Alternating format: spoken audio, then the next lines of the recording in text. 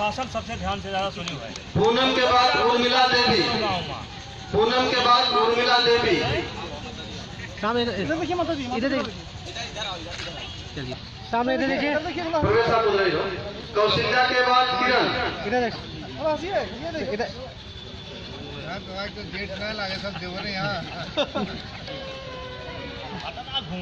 हो। जैसे कलावती आइए। इधर सामने देखिए।